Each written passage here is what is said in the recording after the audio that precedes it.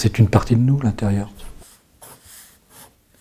On y vit tous les jours, on passe du temps, euh, on parle de bien-être, on parle de confort, on parle euh, d'être bien chez soi.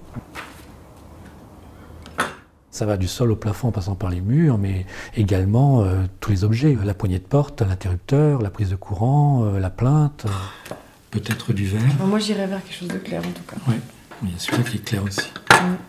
Ou alors peut-être quelque chose comme ça, tu vois, s'il faut mettre une matière. Ouais, ça c'est pas mal aussi.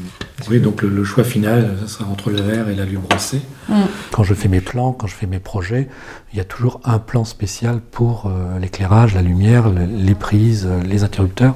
Une lampe, en fait, qui soit un arceau, que vous mettez à peu près par là, et qui soit comme ça, qui revienne carrément Ouais. sur euh, le centre de la table. Les couleurs n'existeraient pas sans la lumière. C'est très important la lumière. Lorsque je fais une décoration, vraiment, ça, ça, tout doit, tout doit s'harmoniser. Donc les Oui, ça fait partie d'une déco et comme on disait, si on a une couleur, euh, clair, un mur Bon, après, il clair, faut voir euh, en fonction de la couleur du mur aussi. ouais, hein. celle-là, Il faudra choisir effectivement du verre. ou Ouais.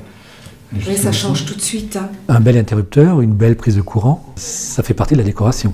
Surtout maintenant, avec ce que nous proposent les, fabricants, je veux dire, il y a quand même des choses tout à fait sympathiques. Le fait de pouvoir mettre deux, un, deux ou trois interrupteurs l'un à côté de l'autre comme ça sur un seul élément, ça va quand même être plus sympa.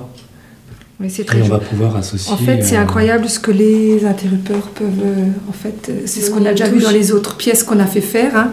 On a toujours joué un peu sur les interrupteurs quand même. hein. C'est Bah, ça fait la Oui, tout à fait, c'est une finition. Ouais. Je pense que des fois, on se rend pas assez compte que c'est ce qui peut Ça peut rehausser être toute la pièce. peut hein. Ah, faut que ça vienne du cœur. oui. De toute façon, je pense que quand on, quand on fait, euh, quand je fais une décoration, ça, oui, ça, ça vient. ça- Il y a- il y a, oui, oui, pour moi, ça vient du cœur en partie, oui.